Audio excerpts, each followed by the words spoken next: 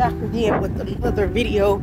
As you can see, I am currently recording on my Google Pixel Fold. This is at 4K at, at 60 FPS. So let me know what you think about the video quality in this video. Just let me know what you think. I wanted to come out and test this out because a lot of people are complaining about their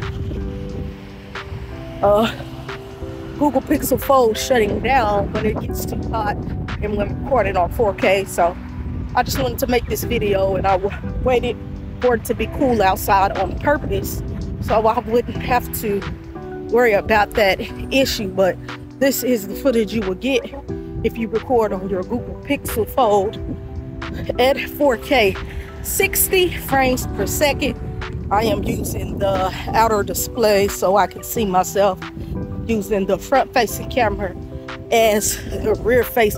Well, no, I'm using the rear facing camera and it's also pointed down on me so I can see myself, but I'm using the outer display. Currently have it connected to my Google Pixel Buds A. So in the comment section below, let me know what you think about how this sounds how the quality looks. I'm sure it's gonna look good because the rear facing cameras are best cameras on devices. And I just wanted to come out and test this feature out. I'm just taking a little stroll down my sidewalk here just so I can get some good little video footage for you guys on YouTube. So I'm gonna turn around and I'm gonna head on back.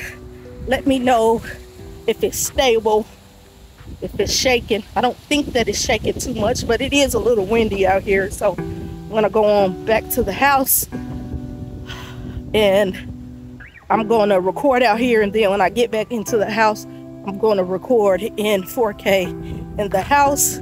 So this is the quality.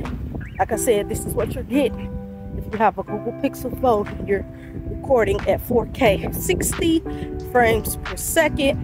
Uh, just bear with me and I'll get this switched over so you can see what it looks like indoors. This is outdoors, but I want you to see what it looks like indoors. So just bear with me. Okay, so on the back. This is what the recording would look like if you are in the house. This is at 4K 60 I was outside shooting and I wanted to come in and show you what this would look like if you were having to record in the house under light under a little light and not outside. I just wanted to come in here and show you what the quality will look like in 4K 60. Uh, so in the comment section below, let me know do you like the indoor out, indoor look better or do you like the outdoor look better? And I'll catch you in the next video. I'm out.